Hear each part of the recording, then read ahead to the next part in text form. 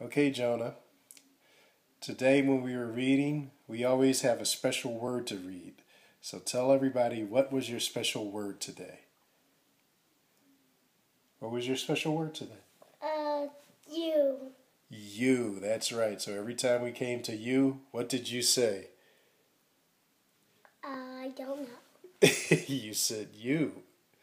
I said you. That's right. High five. Excellent. Good job, buddy.